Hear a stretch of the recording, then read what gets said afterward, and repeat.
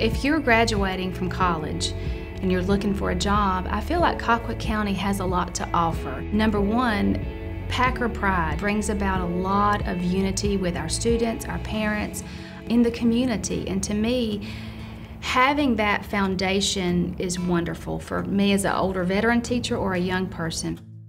I decided to become a teacher so that I could make a difference in my community. I love kids and I know that our kids are our future and I want our community to be a good place for generations to come and I wanted to be a light for others so that's why I chose to become a teacher. I decided to teach because I had an amazing third grade teacher who just really inspired me. She was the light in my life and I want to do that for other students as well. I love working in Colquitt County because I think it's a very small knit community feeling. I come from a district that was much larger and so I enjoy the kind of homey feeling that you get here and everyone kind of knows each other and looks out for each other. I love working at my school because I work for some wonderful administrators who really value and appreciate me and they go out of their way to show those praises.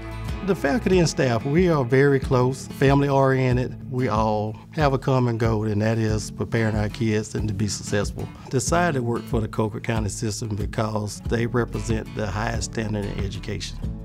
The student body is encouraged to do well. They have a lot of opportunities to come in for extra help. So I think there are a lot of opportunities for them to be successful and graduate.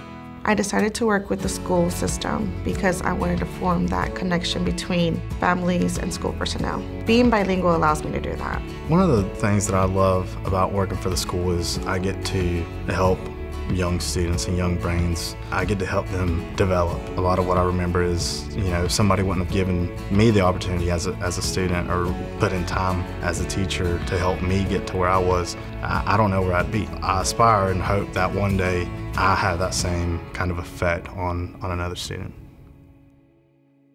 Our county has a lot to offer with benefits. It's really very powerful if you're trying to create an investment for your future.